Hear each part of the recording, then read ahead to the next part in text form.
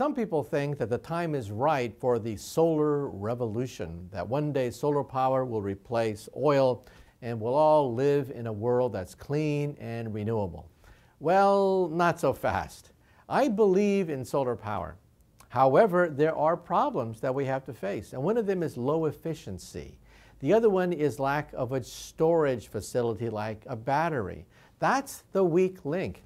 We simply don't have the efficiency of solar cells necessary to make it economical and competitive today, and the ability to store the energy for long periods of time when the sun is dark, when there are clouds, and your solar panels don't work.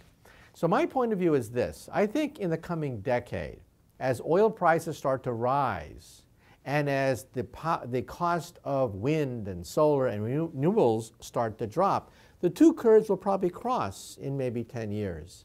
So in 10 years, it'll be the marketplace which then begins to drive the whole thing forward because of the dropping cost of solar cells and efficiency, rising efficiency and the rising price of oil. Now, why do I believe that oil prices will rise? Because of something called Hubbert's Peak. Hubbert was a Shell oil engineer uh, way back in the 1960s who predicted that we would hit the halfway point for the production of oil in the United States. And after that, the bell-shaped curve would curve the other way, and we would become a net importer of, of oil. Well, people laughed at him because they said that, well, wait a minute. We have Alaska, we have Texas, we have lots of oil fields, and so we're not going to hit the 50% point. America will always export oil. Well, wrong.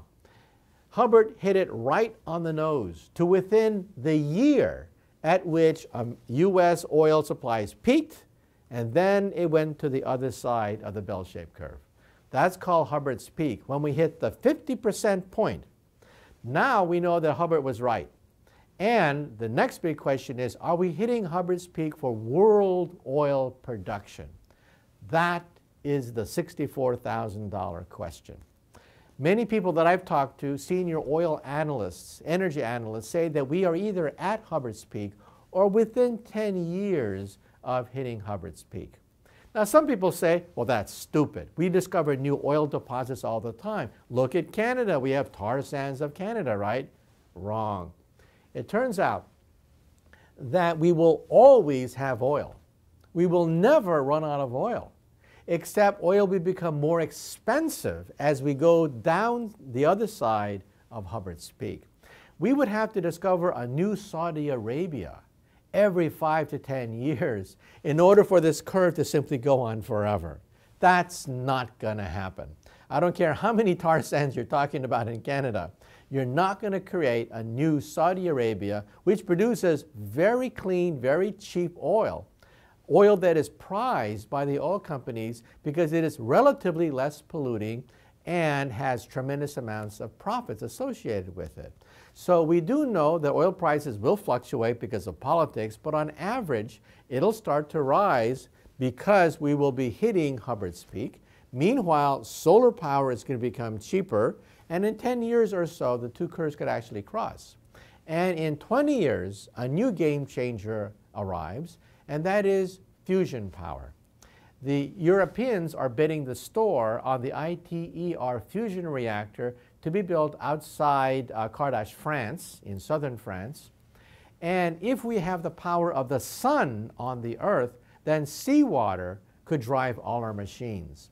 So if this scenario plays out as I predict, it means that global warming could actually be a problem only for the next several decades as we enter the solar era and the fusion era.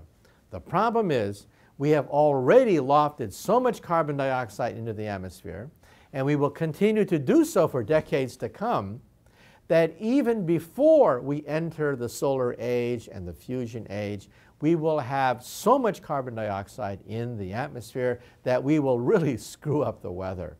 But on a long-term basis, I think that solar energy and fusion power will be the solution, the ultimate solution for the greenhouse problem.